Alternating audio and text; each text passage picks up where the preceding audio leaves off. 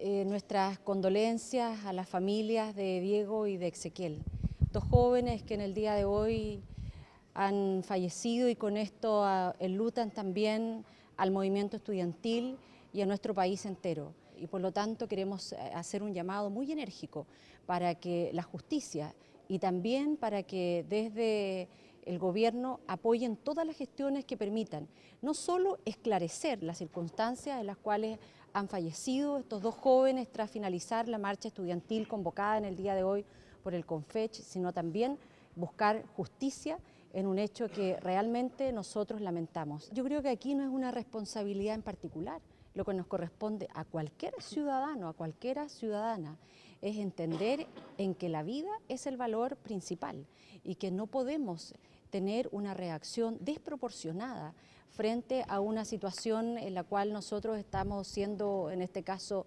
testigos oculares o protagonistas. Nosotros debemos ser capaces de entender en que más allá de nuestras legítimas diferencias ideológicas, más allá de las circunstancias puntuales que puedan ocasionar un hecho como lo que hemos visto en el día de hoy, nunca eso puede ser un factor de enfrentamiento entre chilenos, nunca puede ser un factor de enfrentamiento y de pérdida de la vida para algunos chilenos en esta circunstancia. Y por lo tanto nosotros no tenemos más que condenar la situación que en el día de hoy lamentablemente ha ocurrido en, en el puerto de Valparaíso y solicitar con celeridad que se busque justicia. El diálogo no ha brindado los frutos que ellos esperaban.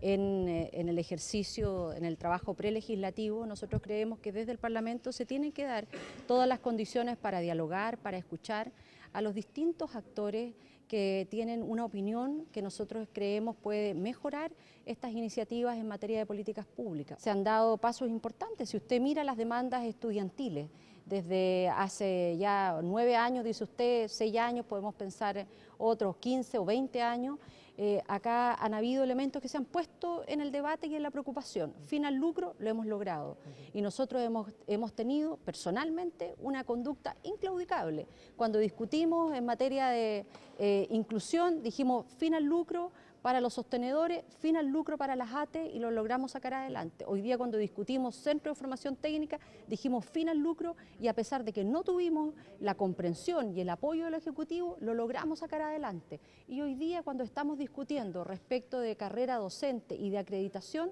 vamos a avanzar también por ir... Eh, desmantelando una situación que ha sido compleja.